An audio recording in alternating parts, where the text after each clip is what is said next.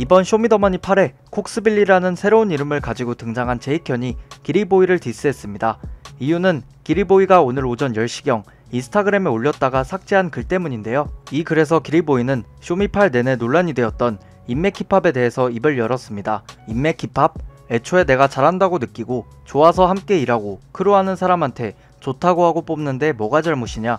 그냥 욕하고 싶은 거면 그냥 욕하세요. 핑계대지 말고.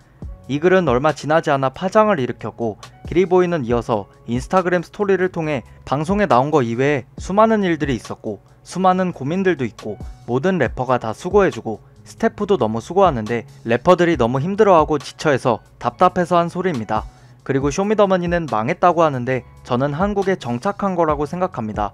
연말 시상식에 힙합곡이 나올 때까지 래퍼분들 다들 킵고잉 합시다. 라고 글을 올린 이유를 밝혔습니다.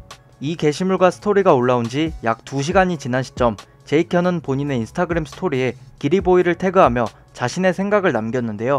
이런 빡대가리 같은 말을 써놓다니 일단 나는 기리보이 찐으로 팬임. 사람들이 뭐라 하는 데는 다 이유가 있는 거임.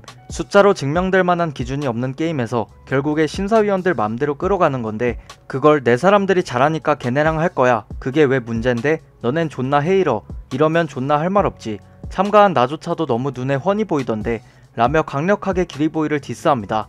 이어서 자신이 2차 예선을 했을 당시 매드클라운이 예전 시즌에서 자신의 이름이 뜨자마자 아 나 이 사람 싫어 탈락시킬 거야 라고 한 사람이 있었고 이러한 사실은 방송에 하나도 나오지 않았다면서 쇼미더머니가 대놓고 짜고 치는 판이라는 사실을 폭로합니다. 마지막으로 욕먹고 인맥 힙합으로 매도당하는 거 속상하겠지만 정치, 편견, 시기, 질투, 밥그릇 싸움 심한 시장에서 본인들이 높은 위치를 차지하는 만큼 책임이 따른다.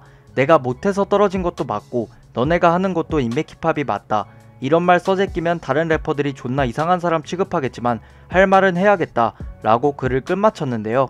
제이켄의 글이 올라오는 시점과 맞물려서 기리보이의 인스타그램은 갑자기 비활성화 상태가 되었습니다. 비활성화가 된 이유가 그의 글을 의식해서인지 아니면 팬들의 화난 댓글들 때문인지는 모르겠지만 기리보이의 입장은 현재로서 알 수가 없는 상태입니다. 여러분들의 생각은 어떠신지 댓글로 남겨주시면 감사하겠습니다. 재미있게 봐주셨다면 진심으로 감사드리며 지금까지 홀릭이었습니다.